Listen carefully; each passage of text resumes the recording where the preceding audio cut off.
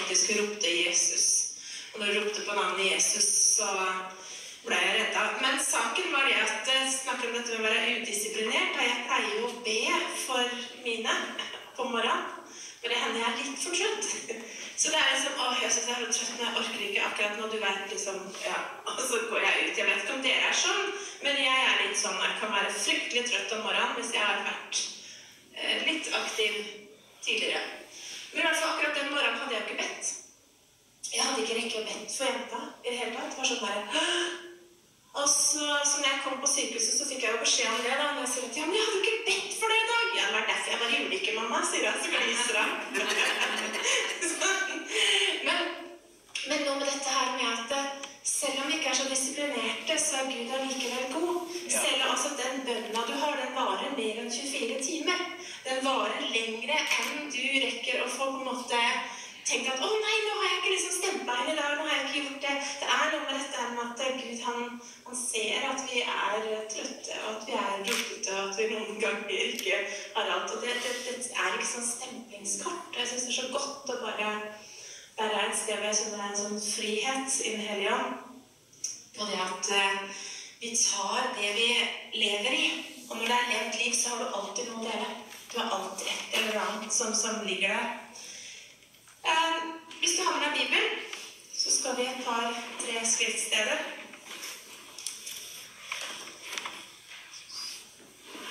Jeg våkna med et ord i dag, og det var ikke, så ikke et bibelord, men faktisk et ord. Et, altså med bokstaver, sånn som du setter sammen et ord. Eh, vi er så åndelige noen ganger at man tenker liksom 'Å, hun har fått et ord.' Ja, jeg har fått et ord. og det ordet er urokkelig. Jeg vet ikke om du har vært borti det ordet før. Eh, urokkelig. Og vi skal da til apostlenes gjerninger. Mannen min er halvdans, så det hender jeg pleier å si apostlenes gærninger. Men jeg skal ikke gjøre det akkurat nå. Derav Jepsen-navnet. Det er altså dansk. Apostlenes gjerninger 2.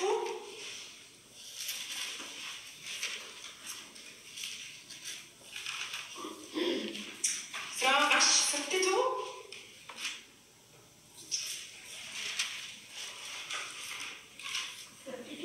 Fra vers 42. Apostlenes gjerninger kapittel 2, fra vers 42. Der står det i min bibel Jesu navn. De holdt urokkelig fast ved apostlenes lære og ved samfunnet, ved brødsbrytelsen og ved bønnene. Og det kom frykt over hver sjel, og mange under og tegn ble gjort ved apostlene. Alle de troende holdt sammen og hadde alt felles. De begynte å selge eiendeler og gods og delte ut til alle etter hvert, eh, ettersom enhver trengte det. Hver dag kom de trofast og med ett sinn sammen i tempelet, og i hjemmene brøt de brødet og holdt måltid, måltid med fryd og hjertets oppriktighet. De lovet Gud og var velsett av hele folket, og Herren la hver dag dem som ble frelst, til menigheten. Amen? Her har vi fellesskap. Første menigheten. Førstegrøden, altså selve basisen for menighet og menighetsliv. De holdt sammen. De var sammen, de var med ett sinn. De, de, de, delte De var kanskje ikke enig i alt. Man må ikke være enig i alt for å være ha ett sinn. Altså, det har noe med det at ett sinn at vi er, vi er samla om Jesus, vi er samla om det som er hovedsaken. Og så kan vi kanskje ha politiske for forskjelligheter og, og, ting og tang, men likevel når vi kommer sammen, så er det én ting vi er samla sammen om. Det er evangeliet. Det er Jesus. Det er ikke noe annet vi er interessert i. Og det står her, altså Dette ordet som jeg sa, som jeg våkna med, var dette urokkelig. Jeg tenkte, Urokkelig? Vi bruker jo ikke det der jeg kommer fra, i hvert fall. Jeg vet ikke hvor mye du kanskje, altså Hvis du har vokst opp i menighet, så har du kanskje hørt det en del ganger. Men jeg tror ikke jeg brukte det ordet noensinne før jeg ble frelst. Jeg vet ikke om jeg visste hva det var, at det eksisterte engang. Urokkelig. Altså, jeg skjønte jo et annet ord. da, Dette her må være litt sta. og sånn som jeg har skrevet i margen sjøl, altså jeg har skrevet i stavboken. Altså, de var sta. De var skikkelig Altså, de ga seg ikke. de ble ikke, var ikke snakk om å gå bort ifra det. Du fikk ikke rista dem ut av det. De holdt fast. Sånn var det, og sånn ble det, og sånn skulle det være. Og de var ikke interessert i noe annet. Det var skikkelig stavbukker. Ordentlig sta. Helt urokkelig. Umulig å få flytta på. Dette var grunnvollen. Dette var grunnsteinene. Um, og Du må gjerne ha en finger i lille, for vi skal tilbake igjen dit. Men vi skal også lese i 1. Peter 2.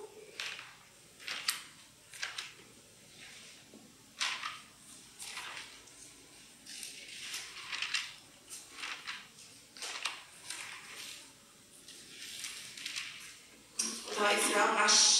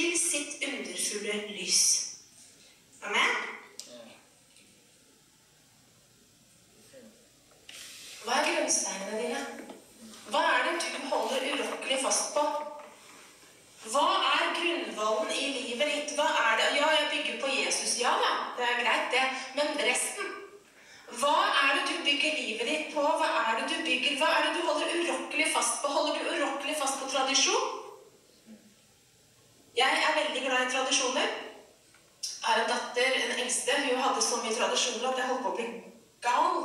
For uansett hva vi gjorde, hvis hun likte det, så var det en tradisjon. Selv om ikke jeg likte det, så ble det en tradisjon, og vi måtte bare gjøre det igjen og igjen. Og jeg syntes det var fryktelig slitsomt, for det var jeg som måtte utføre det. Men dette her med å holde urokkelig fast på noe, hva er det du velger hver dag å holde urokkelig fast på? Og holder du så godt at det preger livet ditt og de rundt deg, og på hvilken måte? Da spørs det litt hva du holder fast på, hvilken vei denne talen kan risikere å gå. Hvis du holder fast på at du har rett, du skal gjøre som du vil, jeg bestemmer, du holder fast på stolthet, stahet, tradisjon, religion Du holder fast på det at ja, men mora mi sa, og mora hennes sa, og mora der igjen har sagt, og vi kommer fra en slekt med sånn og slik Hvis du holder fast og holder urokkelig fast på det, og det er din trygghet, så kan jeg love deg at det tryggeste med det er at det kommer til å falle. Du må ha grunnsteinen din ned i hva som er viktig. Hva var det de holdt på i Apostlenes gjerninger? Tilbake til det. Apostlenes gjerninger 2. De holdt urokkelig fast ved apostlenes lære, altså ved lære. Hvilken lære? Lære om Jesus Kristus. Det Jesus lærte og fortalte som de var vitner til gjennom den tida de gikk med Jesus så forkynte de hans ord og hans lære. Det var bare Jesus, bare Jesus, bare Jesus, bare Jesus. Kun det han hadde gitt, denne melka, dette her grunnvollen som Jesus hadde gitt, det var det apostlene ga videre. Det var ikke ja, nei, du skjønner, jeg mener at ditt og datt. Det var ikke en haug med meninger, det var ikke ting. Det var apostlenes lære. Altså, De holdt urokkelig fast på læra. Hvilken lære holder du fast på? Hvilken lære holder jeg fast på? Og jeg kjenner sjøl at jeg, jeg utfordres på å tenke hva er egentlig båndgreia? Hvorfor tenker jeg som jeg gjør? Hvilken motiv har jeg? Når jeg ber, hvem ber jeg egentlig til? Hvorfor ber jeg? På hvilken måte ber Altså, jeg er mer i grunnvollene. Hva var det Jesus sa? Hvordan var det dette, denne læra? Hvor viktig den var. At, at de holdt fast på den læra. Læra er en, en grunnstein, en grunnpilar, en så, sånn som du kan stå på og bygge for evighet. Flere tusen år etterpå så står vi fortsatt trygt planta på klippen, som er Kristus. Fortsatt er læra levende, selv om han har blitt litt utvanna og kanskje blitt Ja Den har kanskje blitt eh, tolka litt og vridd litt på. Sånn som det ble nevnt her innledningsvis, hvordan liksom alt er lov, og kjærlighet er plutselig ikke kjærlighet lenger. Det er plutselig noe som vi har bestemt, som vi føler og tenker, og det er mye som går på kompromisser, og vi faktisk er nødt til å komme til det punktet at til slutt så sier ok, hva, hva tror du på? Hva er grunnvollen din? Hvem stoler du på? Stoler du på statsstøtta, eller stoler du på Gud? Stoler du på Nav? Eller stoler du på Gud? Stoler du på hva alle andre har sagt, eller stoler du på Gud? Den her grunnvollen læra. Læra om hva var det Jesus sa? Hva var det Jesus sa? Hvordan var det han tenkte? Hva var det han, Hvordan representerte han Gud? Hvordan, altså alle disse tingene. Så det var det de holdt på med når de kom sammen. Jeg vet ikke om de hadde vafler i den tida. Det er godt mulig de stekte vafler og kosa seg, men det de snakka om var ikke 'uff, og så fælt, og så grusomt', og så bare De snakka om læra. De snakka om hva Jesus sa. Det var det de var savna om. Det var det de brukte tida si på. Hva var det Jesus mente om det? Hva var? Fortell en gang til! Hvordan var det når Jesus gikk der, og, og den lamme ble reist opp? Fortell en gang til! Jeg må bare høre det en gang til. Ja, hva var det han sa i denne bergprekenen? Kan dere gjenta det? Og det ble gjentatt og gjentatt og gjentatt og gjentatt. Det ble en del av det. Det var det de spiste ved måltidene. Det var denne læra. Og jeg tenker at um, jeg, er, jeg, er, veldig privilegert. Jeg er ekstremt privilegert fordi at jeg har så mange mennesker rundt meg som elsker å snakke om Jesus. De bare elsker å snakke om Jesus. Jeg husker jeg kjørte jeg, jeg, jeg satt på, var det jeg gjorde. Jeg kjørte ikke, jeg satt på eh, med et aldeles herlig menneske kristen, herlig og i det hele tatt. Men kanskje hun var så frustrert over Ja, vi er jo kristne her hele gjengen, er vi ikke det? Hun var frustrert over menighet. Det er jo ingen av dere som noensinne er det, men uh, hun var jo det, da. Ja. Um, det har jo aldri vært det.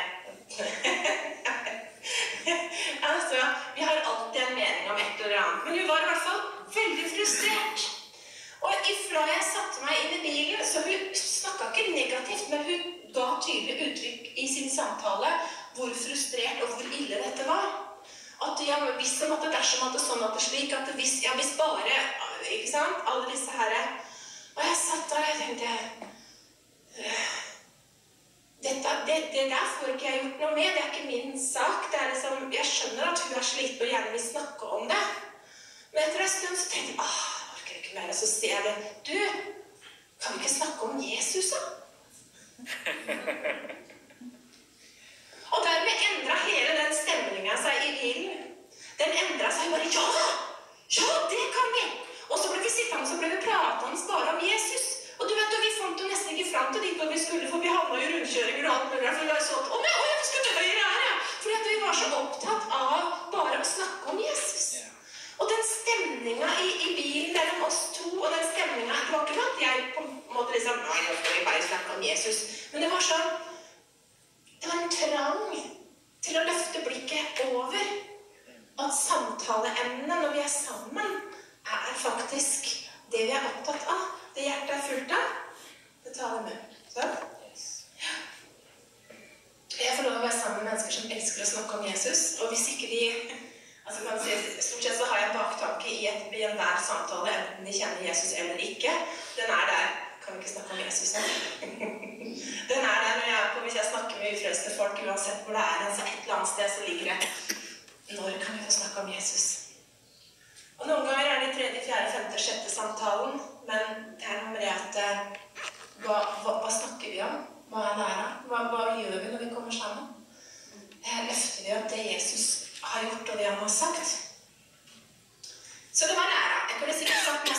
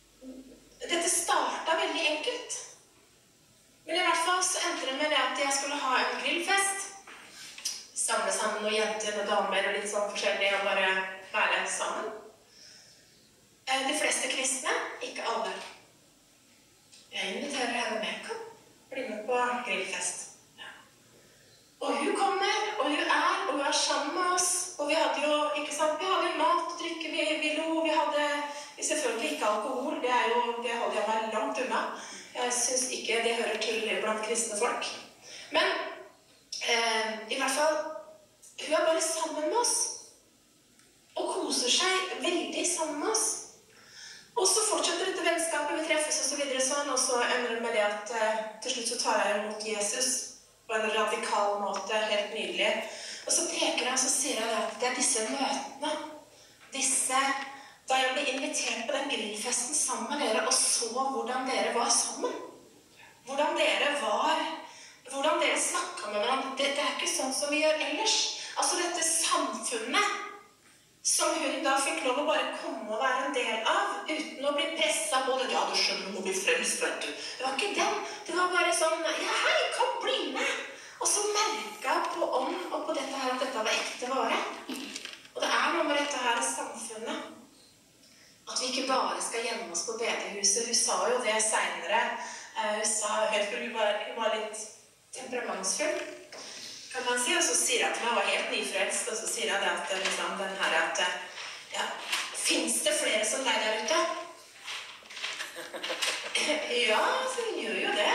Det er jo mange av oss. Ja. Ja, ja hvor er det dere gjemmer dere hen, da? Ja. Nei, vi gjemmer oss på bedehuset, vi, sa jeg. Venter på at dere skal komme.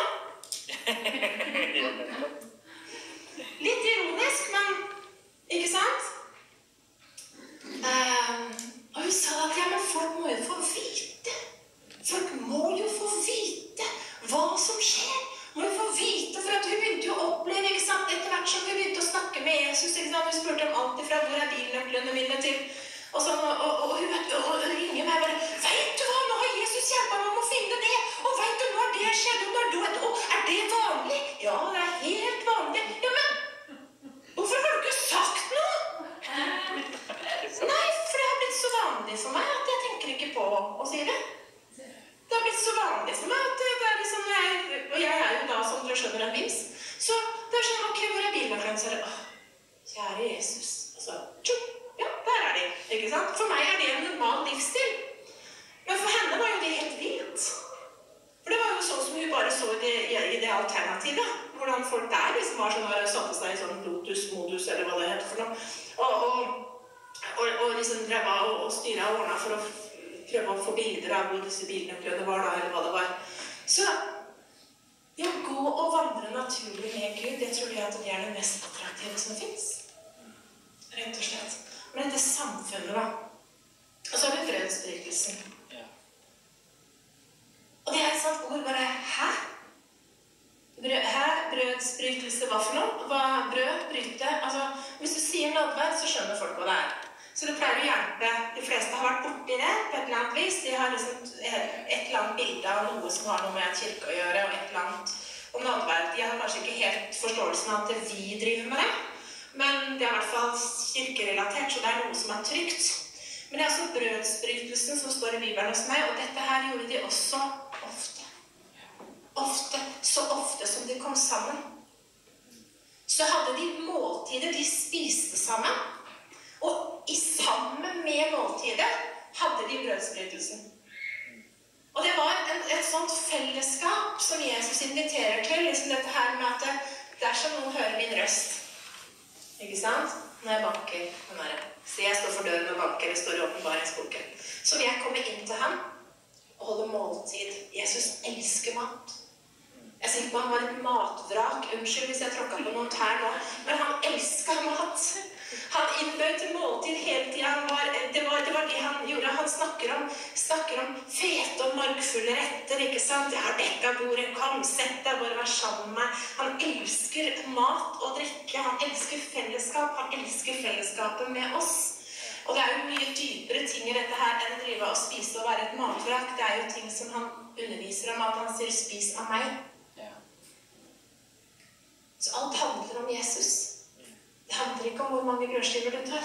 Det handler ikke om hva slags nadvær du tar, hvordan du tar det. Men det handler om dette her med at du faktisk du tar av ham og gjør nytte av det. Du spiser Skriften. Du spiser For det, det står faktisk du kan han som at det er manna. Skriften er manna som kan spises. Du skal spise ordet. Du tar til deg og tar til deg og tar til deg av Jesus. Eh, og det må du gjøre hver dag. Og det gjorde de. De delte ordet, de var sammen, de delte liv, og de delte ham. Og gjorde det som han hadde sagt. Han innstifta nådeverden sans. At de gjør dette til minne om meg. For så ofte som dere eter dette brød Så ofte som En gang i måneden er ikke nok for meg. Jeg beklager. Det er, det er ikke nok. Det er ikke bibelsk for meg. Jeg beklager hvis jeg tråkker på noe her til. Men her, jeg beklager ikke. Jeg kan gjør jeg ikke. For det står i Bibelen så ofte som dere kommer sammen. Og jeg har så mange ganger opplevd hvilken kraft det er i det å ta nattverd sammen med kanskje to eller tre andre. Til og med noen ganger har jeg vært nødt til å ta det alene. Det hender noen ganger hvor det har vært i kritiske situasjoner hvor jeg faktisk har vært nødt til å stoppe bilen, ta en telefon og ta nattverd over telefonen med noen. Og det har vært en sånn kraft i det. Det er en sånn styrke i det. Det er en styrkemåltid. Det er en sånn enorm proklamasjon inn i alt mørket at jeg tilhører Kristus. Han har dødd for meg. Han har tatt alt sammen på korset. Og, og det, det, det der fiendens velde, det er slutt. Det er brutt. Det er over. Det å gå, komme løpende til korset og ta dette nattverdsmåltidet på en sånn måte at du virkelig ærer det at Jesus kom og satte et punktum. At jeg nå er, lever i en ny pakt. Altså Alle disse tingene som er å proklameres gjennom nadvær. Dette gjorde de så ofte som de kom sammen. Har vi mista noe? Noen ganger så legger vi lista så ekstremt høyt. Og ett sted Nei, du skjønner at eh, vi kan ikke ha, ta nadvær her i huset vi, fordi at eh, vi har ingen menn her. Det var bare damer igjen. Vi har ingen menn, og det er det menn som må gjøre. Så tenker på Hva holder du fast ved? Tradisjon? Eller grunnvollen? Så ofte som dere kommer sammen Jesus sa ikke så ofte som det er menn i rommet. Eller så ofte som det er en apostel eller en prest eller hva nå enn du tenker. Han sa bare så ofte som dere kommer sammen. Så brødsbrytelsen, det var altså den herre Hvilken grunnvoller har du? Hvor, hva, hva, bygger vi menighet på? Hva bygger vi livet på? Og så som jeg leste ikke sant, i første Peter her, altså, de er, en, de er en åndelig menighet. Altså, vi, er ikke, vi, er ikke, vi, er ikke, en forening. Vi er ikke en politisk forening. Vi er, vi er, faktisk bygd opp på åndelige prinsipper, og vi må ha åndelig mat. Det er det det handler om. At når vi er sammen, så er, så, så det helt andre regler. Det er det de guddommelige reglene som gjelder. Det er det grunnvollene i Kristus som gjelder. Og så er det det her med ja, Jeg må fortelle det egentlig. Jeg er nødt til det. Du har tid, har du ikke det? Du har jo kommet. Dette med brødsbrytelsen det ble veldig sånn eh, spesielt fordi at eh, jeg reiste til Uganda for første gang. Ja, jeg er litt sånn, altså Det har jeg aldri gjort før, så det kan jeg helt sikkert. Så jeg gjorde det. Uh, og jeg, jeg reiste ikke helt alene, da, men det var ikke langt unna. Men uh, jeg reiste nå til Uganda, og Gud har sagt enker og faderløse, så ok, da går vi til enker og faderløse. Og der er det noe Det kan man trygt si. Det er tusener på tusener av gatebarn bare i Kampala, hovedstaden, som lever mer eller mindre på å ruse seg for å overleve. Rett og slett. Det er, det er helt grusomme tilstander. Og i tillegg så er det Uganda er et kristent land i Afrika. Og det står noe om det å ta vare på sine egne. Men i hvert fall så reiser jeg dit, og så får jeg lov å være med på gater og streder og se enker og faderløse få lov å være med og bidra og komme med en oppmuntring og hilsen der og være en del av det arbeidet. Eh, og så skulle vi da ut opp i noe som heter Jinja-distriktet og møte en, en kirkemenighet der. Og da var det en som var De har litt store forhold. altså Han var jo da, han heter Bishop Hannington. Eh, og han var da leder for 700 menigheter. 700. Eh, altså overmann, da, for disse. Eh, veldig normal kar. Veldig sånn, Ikke noe sånn høy på pæra eller noe som er skikkelig hyggelig. Eh, og i en av de sesjonene for da han hadde da eh, samla I en av disse tingene hadde han samla ledere fra disse kirkene. Han hadde samla eh, ja, diverse forskjellige ledere i forskjellige settinger. Og så underviser jeg om nådevær. Så står denne voksne mannen og gråter. Han gråter, tårene renner nedover ansiktet hans. Og når jeg er ferdig med å preke, så kommer han og sier vet du jeg må be alle om tilgivelse. Og jeg tenkte, kjære venn, hva har jeg rota meg borti nå? Hva har jeg gjort? Så sier han at jeg har hatt det én gang i året innbytt til nadvær. Og vi har funnet fram det fineste vi har du vet, ute i bushen. Er det fineste. En gang i året har jeg gjort det. Og nå ser jeg at Bibelen sier noe helt annet. Kjære menighet, tilgi meg at jeg ikke har vist dere dette og ikke gitt dere dette. For det er det Bibelen sier. Så jeg ønsker å lære mer. Jeg ønsker å studere Skriften mer, og jeg ønsker å invitere alle til nadvær. I fjor kom jeg tilbake, og da var, da var De bygde kirke, og den kirka var så full med folk. Og det var, det var jo da enker, det var faderløse, det var eh, folk som var blitt frelst siden sist i forskjellige settinger og dit og datten. Det var, det var stappa fullt med folk. Og så står han der, så stråler han. Og så ser han Nå skal vi ha nadvær. Og så forteller han at han har innført det i alle sine 700. At så ofte som de kommer sammen, så deler de det de har, og så deler de nadvær. Tenk, altså, tenk bitte lille Solfrid fra Vestfossen.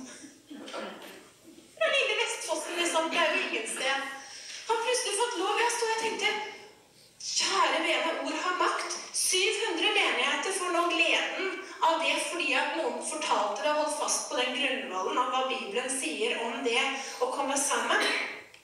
Og så inviterte han til nådvær, og han inviterte alle enkene. Alle skoleungene måtte komme. alle Søndagsskolen var veldig full. Altså, det var, det var en rekke så lang som et vondt år. Det tok en hel evighet å få gitt alle disse menneskene De kom jo fram ikke sant, på rekke og rad. Å få gitt dem nadvær, om de var så små, eller om de ikke kunne gå. Han dro fram absolutt alle, og det var en så heldig stund. Og jeg tenker Vi kommer liksom, vi tenker vi har våre gullfat, eller jeg vet ikke hva dere har her. Ja, det er jo vakkert, det. Men det er noe med det at tenk på alle de menneskene som faktisk tar del i dette her, og du er en del av et mye større fellesskap. Så det med nadvær Jeg skal ikke begynne å mase om det, men be over det. Be over hva Jesus tenker i, i den forbindelse i forhold til om det bare er når dere er hjemme i fellesskap, fellesskap, hva som helst. Men ta det opp og bruk det. Dette er grunnvollen. Det er menighetens grunnvoll. Lære, samfunnet, brødsbrytelsen, og så står det bønnene. Jeg tenker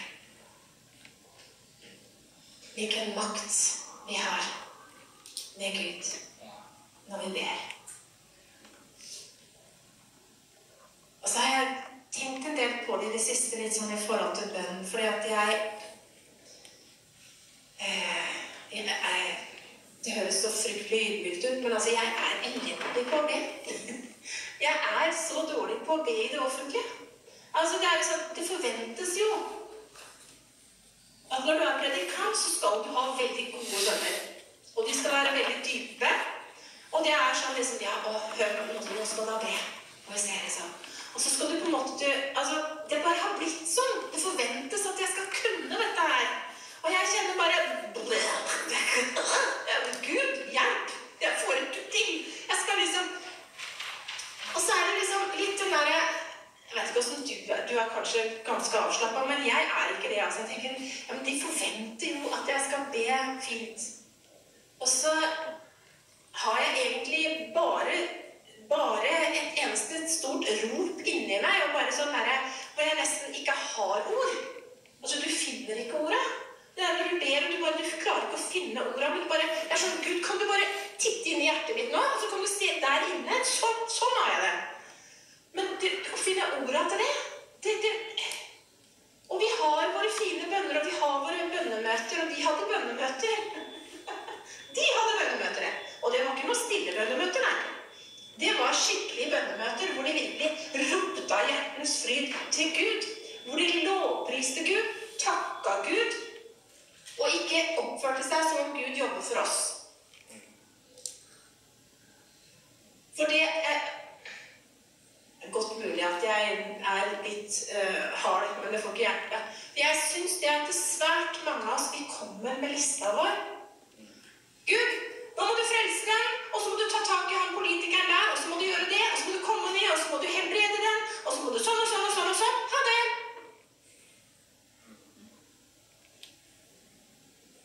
Gud må ikke noe som helst.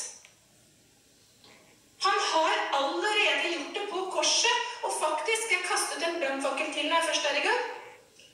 Alle er frelst, men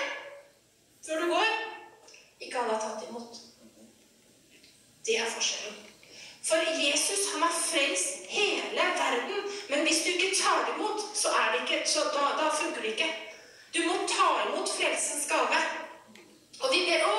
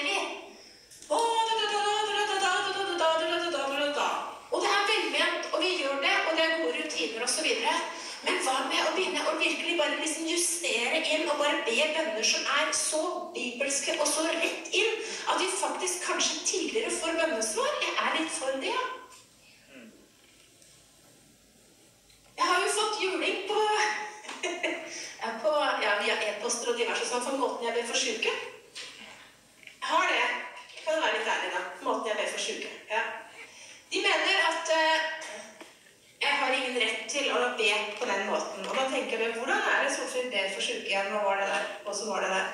Jo, en av måtene jeg ber for på, er at jeg befaler sykdommen å gå i Jesu Kristi navn. Ut ifra de skriftstedene som handler om dette her med at du skal tale til fjellet, og det skal flytte seg.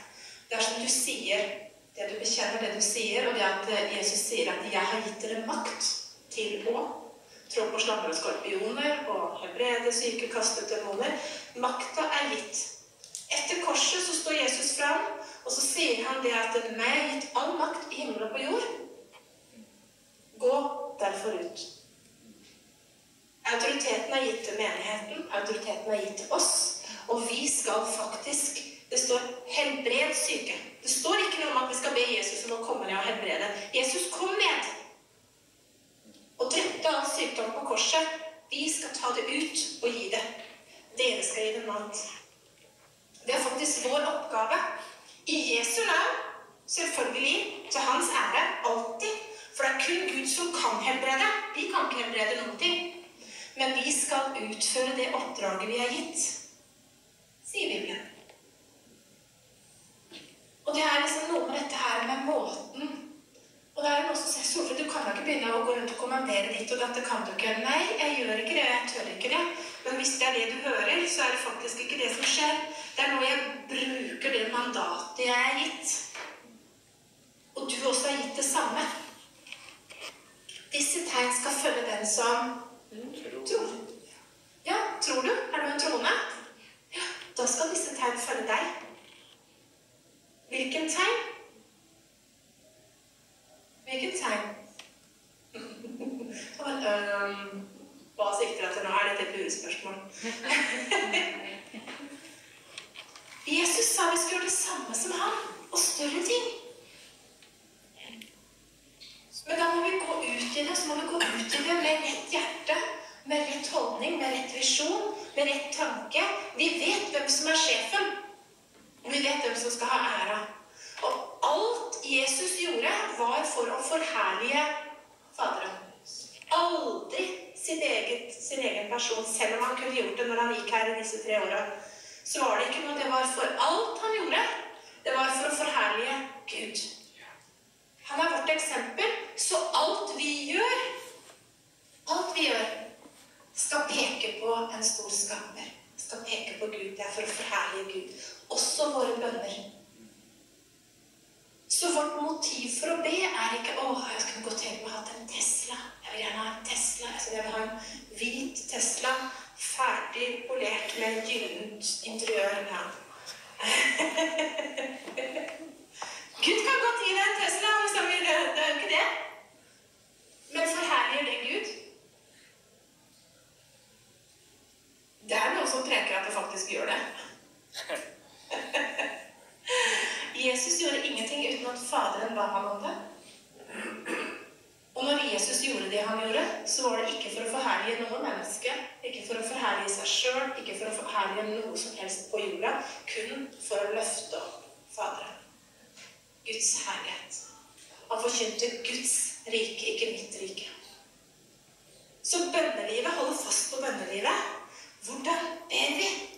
Ja, men jeg sier, vi må jo Vi holdt urokkelig fast. Jeg tror jeg holder urokkelig fast på min måte å be på. Vi har alltid bedt sånn. Men si som dr. Phil, hvordan fun- funker det for deg? Virker det? Bønn. Utholdenhet er det viktigste av alt. Du må holde urokkelig fast på den utholdenheten. Når Gud har gitt deg noe, så stå på det. I Han, alle hans løfter er ja og amen. Hold urokkelig fast på det. Ja, men jeg har bedt og bedt i mange år. Ja, ikke gi det. Stå urokkelig fast.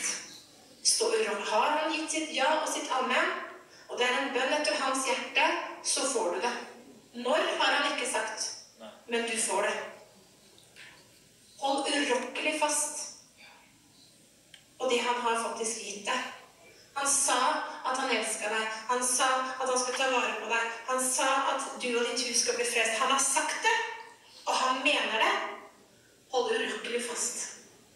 Urokkelig. Helt urokkelig. Vær en, vær en vær en stabok. Hold fast.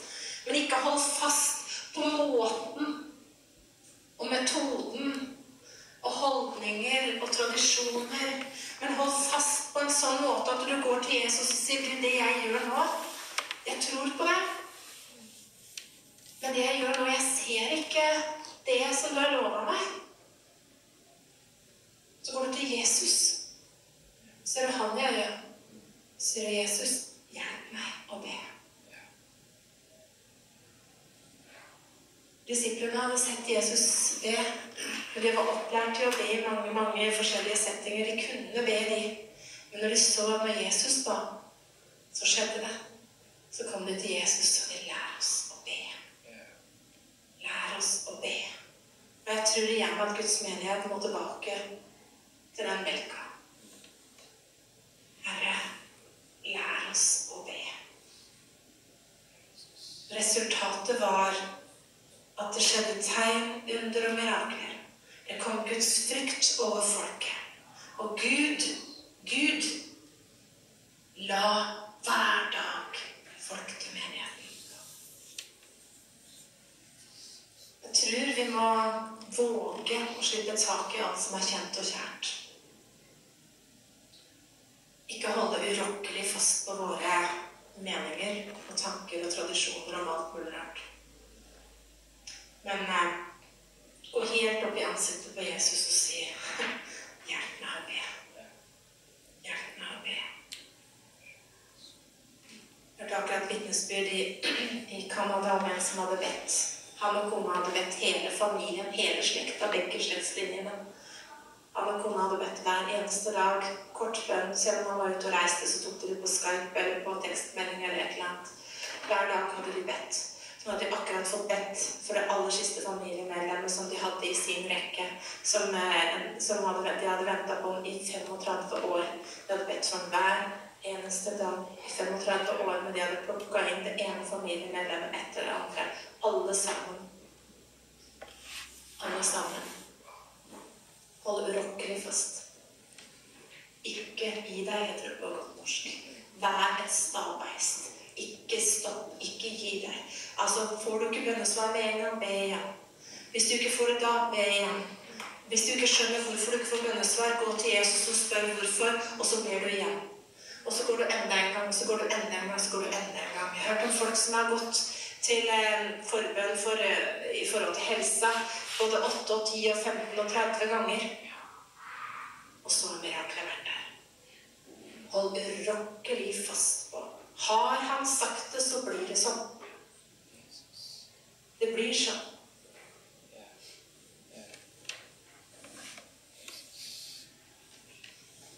Jeg tror faktisk det at vi er nødt til å dra hverandre tilbake til denne grunnvollen. Og de nyfødte kristne. Den herre Skal vi se Ta fram med brillene. Trenger ikke det jeg skal se på dere, men jeg skal se her, da. Tilbake til 1. Peter 2.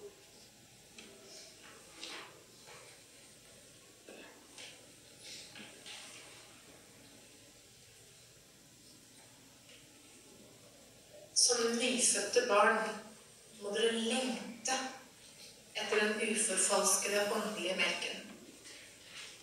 For at, ved, eh, at dere ved den kan vokse til frelse, så sant dere har smakt at Herren er god.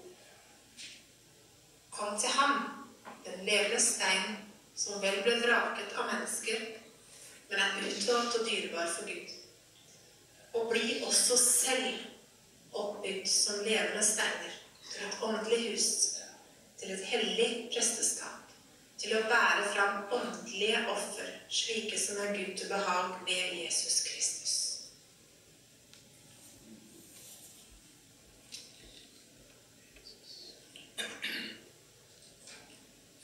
Jeg tror Gud kaller oss tilbake til den første kjærligheten.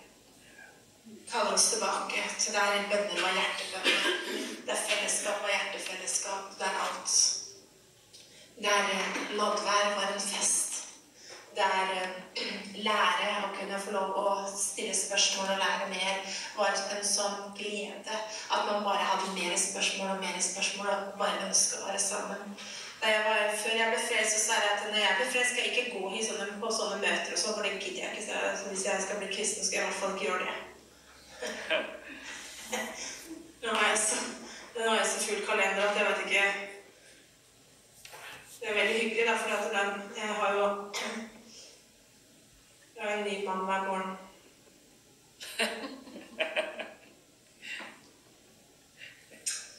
Han forandrer seg, han jeg lever med. Han blir kjekkere og kjekkere for hver dag. Det er nesten som å Nesten sånn som med Jesus. Det er sånn han blir større for hjertet ettersom åra går. Og sånn er det med det hjemme òg, at uh, du tar vare på øyeblikket når det er hjemme. Så Men jeg har lyst til uh, Det var en ting som jeg egentlig hadde lyst til å bare ta på slutten. Og jeg vet ikke helt hvorfor, men jeg vet ikke om det er noen av dere som skal ha det. At det er derfor jeg har blitt så minna på det. Om det har noen sammenheng, det veit jeg ikke. Um, men uh, det er et dikt som jeg blei veldig minna på når jeg satt og leste Bibelen. Da, og jeg tenkte jeg har, jeg har lyst til å prøve å lese det for deg, så jeg kan klare å få det til. Uh, jeg husker altså, jeg er ikke noe skolegeni. Jeg uh,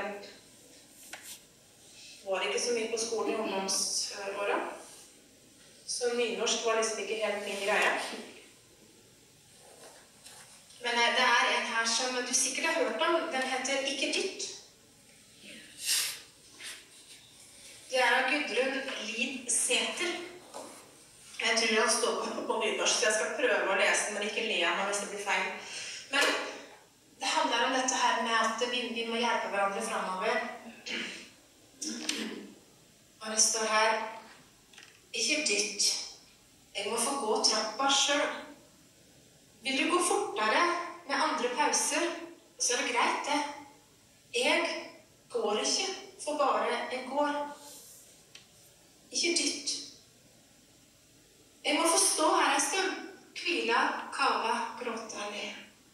Rygge, sette ene foten ned igjen på forrige trinn og kjenne ekstra etter om jeg er ferdig til å gå videre. Ikke dytt. Det er så vondt å snuble. Jeg gjør det likevel, men da er det på min måte. Den er tryggest for meg. Ikke tro at trappa er lettere å gå fordi du veit hva neste trinn heter. Men det er fint at du vinker. Det er trygt å ha deg sammen med meg, for jeg leter etter noen å holde handa i.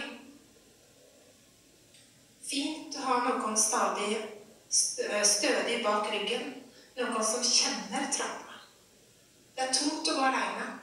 Fint å ha deg der, men ikke dytt. Jeg kommer i mitt eget gangelag. Det er fint å se at andre har kommet seg opp. Jeg er i siget, men har tålmodighet med meg.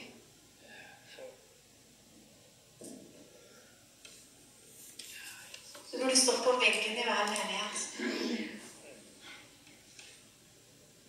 Jeg kommer. Jeg er underveis. Jeg vil, jeg flytter meg, men ikke dytt. Vink på meg. Hei på meg. Jeg er glad du veit veien, men jeg går i mitt tempo. Men jeg går. Jeg er i siget. Jeg er der. Og jeg syns Jeg syns vi skal være litt gode med hverandre.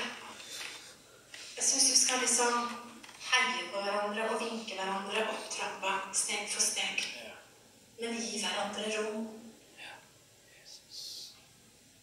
For til tider så tar vi noen store skritt, og så blir det litt mye, så vi får lyst til å bare ta et lite skritt bak og bare Og så går vi videre.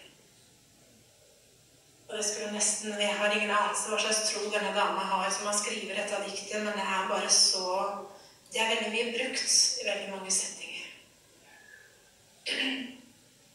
Jeg tenker tilbake til utgangspunktet, der de holdt sammen, der de tok vare på hverandre, der de løfta hverandre, der de hadde fellesskap, både rundt mat, rundt bønn, rundt alt det her, hvor vi ikke dytter hverandre, verken den ene eller den andre veien, men vi går sammen, uansett hvilket trinn vi er på i livet. Jeg tror det er utrolig viktig for den tida vi er i nå, at vi gir hverandre den nåden som Jesus gir. Vi er et åndelig folk. Vi er ikke noe hvem som helst. Vi er et hellig presteskap. Vi er utvalgt av Gud. Vi er satt der for en hensikt. Det kommer til å bli tøffere. Det kommer til å bli en røff tid, og da trenger vi hverandre. Det kommer til å være så at eh, du kanskje er nødt til å stå for noe. Og da er det viktig å vite hva du står for. Har du grunnvannet på plass, så er alt mulig. Og jeg tenker det, vi skal gå veien videre. Jeg skal få lov å være her i hvert fall fram til sommeren hvis jeg oppfører meg fint. Det er helg som kommer etter hvert, som flere andre sikkert vet om. Hvor tenker litt sånn liksom, med å hjelpe hverandre litt framover. Sakte, men sikkert. Ta noen skritt. Kanskje hvile litt i trappa. Ta noen skritt til. Men at vi ikke dytter hverandre. Og hvis du føler at jeg dytter, så ikke dytt tilbake. Men at vi skal gå sammen. Vi skal ta noen trinn sammen. Vi skal være, vi skal være menighet. Selv om ikke jeg er en del av den her, så er vi en del av Guds familie. Og vi skal heie på hverandre, og vi skal, vi skal virkelig støtte hverandre, så alle kommer dit hvor vi er tenkt. Eh, det har dere holdt på med fram til nå, så jeg får lov bare å henge meg på og være med og heie. Sant? Skal vi be sammen? Takk for at du gir oss rom. Du gir oss rom til å vokse. Du gir oss rom til å eh, strekke oss. Takk, Jesus, at du faktisk har gjort oss sånn at vi egentlig er noen stavbukker. Hjelp oss til å være sta på de rette stedene. Hjelp oss til å holde fast på det du har bedt oss om å holde fast på. Du som er troens opphavsmann og fullender. Det er deg vi skal ha blikket festa på. Takker deg, Herre, at forbindelsen den er satt. Vi er kobla på deg, og vi er kobla på hverandre. Herre, hjelp oss til bare holde så utrolig hardt fast i kappa di at vi aldri noensinne slipper taket. Men at vi bare står og står og står til vi ser. Takk at det står det at den som leter, han finner. Og det står også at uh, du vil la deg finne. Takk for din godhet, far. At du er tålmodig med oss. Men at du er også like urokkelig i dine løfter. I det du har sagt, i det du har bedt oss om, i det oppdraget du har gitt oss. Så takk, Herre, at du står bak ditt ord. Du skal gi oss kraft. Du gir oss Den hellige ånd.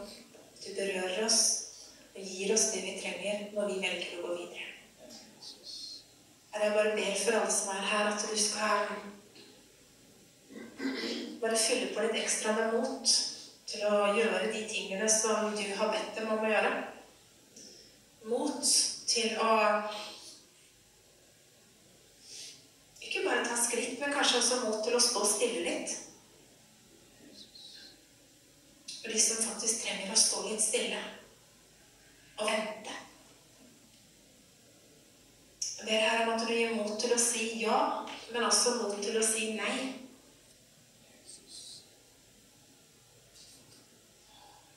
Det er masse visdom til hver eneste en som er her, Herre.